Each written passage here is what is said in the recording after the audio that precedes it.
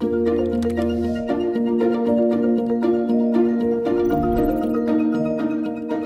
you know that there are over 600 muscles in the human body?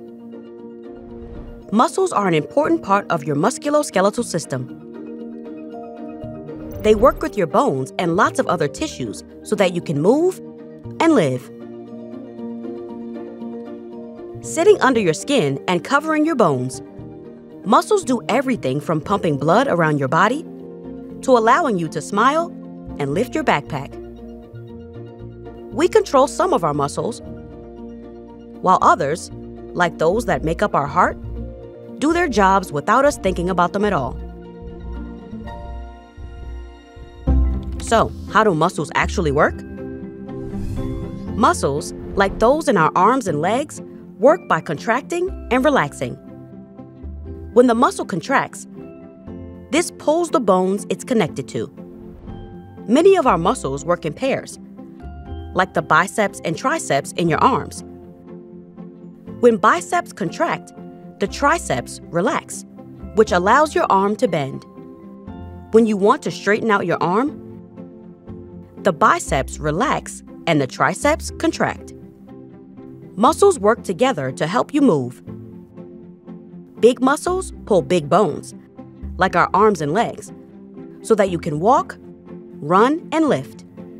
Smaller muscles and bones help with smaller movements, like shouting or tying your shoelaces.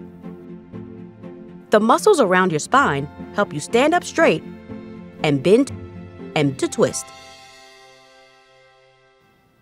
What are muscles made from?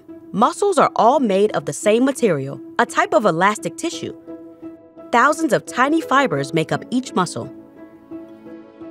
And inside the muscles, there are nerves that carry messages to and from the brain. There are also blood vessels, which carry the energy that your muscles need to do their work. Skeletal muscles are the muscles we use to move around. They cover our skeleton and move our bones.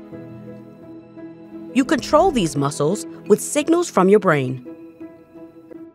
Smooth muscles are special muscles that don't connect to bones, but instead control organs in your body. For example, you don't have to think about your stomach digesting your food. It does it all by itself. Cardiac muscles are very important muscles. They help your heart pump blood around your body. So, how do you keep this incredible system of muscles healthy? Muscles grow and change throughout your life. When you exercise, you work your muscles, and they grow and become stronger. If you don't use your muscles, they can become weak, and that makes it hard to be active. But remember, to grow strong, healthy muscles, you don't need to lift weights. In fact, lifting weights before you are fully grown can damage your body. Instead, make physical activity a part of what you do every day. Play, climb, walk, join a team, Eating a healthy, well balanced diet will also give your muscles energy and help make them powerful. Just like we couldn't survive without our bones, we can't survive without our muscles. So, look after them and keep them moving.